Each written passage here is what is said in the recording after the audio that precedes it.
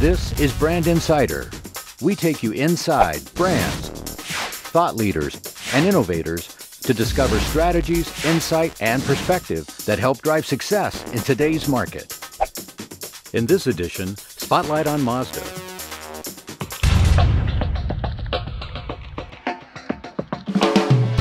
Okay, well, new for us at the show, we're bringing to market our all new CX5, which is the first of our next generation products equipped with SkyActiv technology, which is all about fuel economy, low emissions, and uncompromised driving performance. Well, the CX5 is right at the heart of the compact SUV segment, which is one of the, the, the fastest growing segments in the US. In a segment where people are driven by utility and practicality, we're trying to be the one that brings a bit more driving enjoyment and, and the thrill of zoom zoom. In line with everything we do at Mazda, we're trying to appeal to a, an attitude and a psychographic more than a demographic. But unquestionably, this is a car that's more for young people, active people, people who have a, a very active social life and want to get out and enjoy it. The SkyActiv technology is something we've been working on really the last five years. It's, it's really our answer to hybrid, it's our answer to a lot of questions that consumers are asking about how can I balance fuel economy, low emissions, a sense of environmental responsibility with the personal reward I want to get from my car.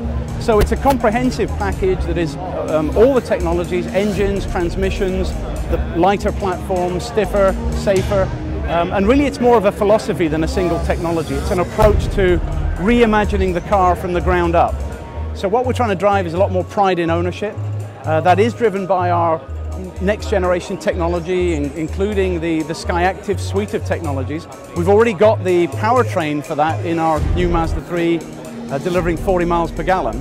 And going forward, we'll, we'll be rolling out that technology over the next uh, two to three years and uh, refreshing the whole lineup.